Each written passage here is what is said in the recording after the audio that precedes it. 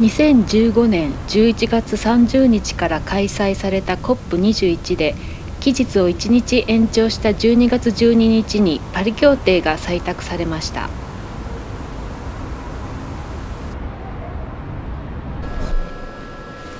COP21 とは地球温暖化対策を定めている気候変動枠組条約の21回目の締約国会議のことです。つまり20年以上にわたって地球温暖化問題への対処方法が議論され続けてきたことになります。しかしこれまでの道のりは決して平坦ではありませんでした。1997年に採択された京都議定書以来まさに18年ぶりの合意です。パリ協定は2020年以降すべての国が参加する枠組みということを条件に4年間交渉された結果です。すべての国が参加しかつ排出抑制をできる限り実現させるための工夫がパリ協定には盛り込まれています。その中の大きな3つのポイント。1排出量抑制策。2資金援助。3長期目標の3点についてこれからお話しします。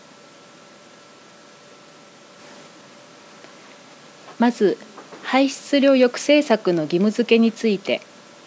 温室効果ガス排出抑制に関しては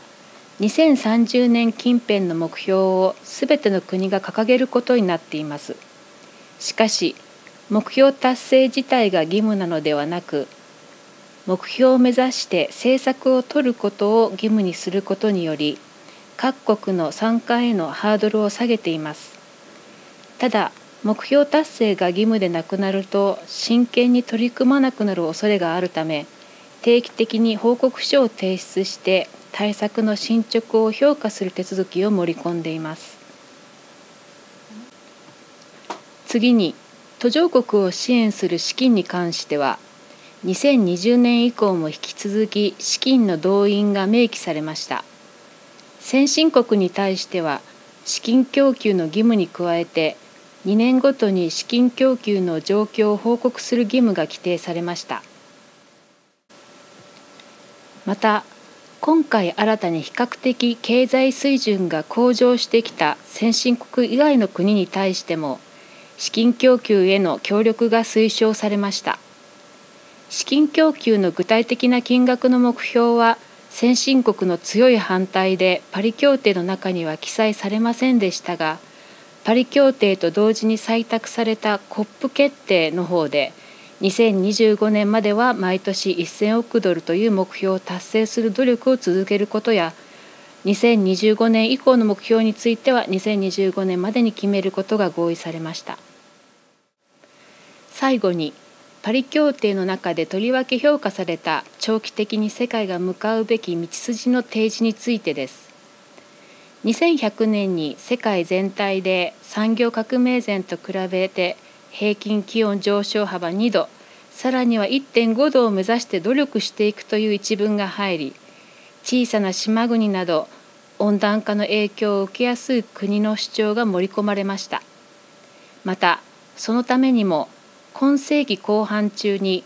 温室効果ガスが排出される量と森林などによって吸収される量が同じになる状態を目指すことになりました。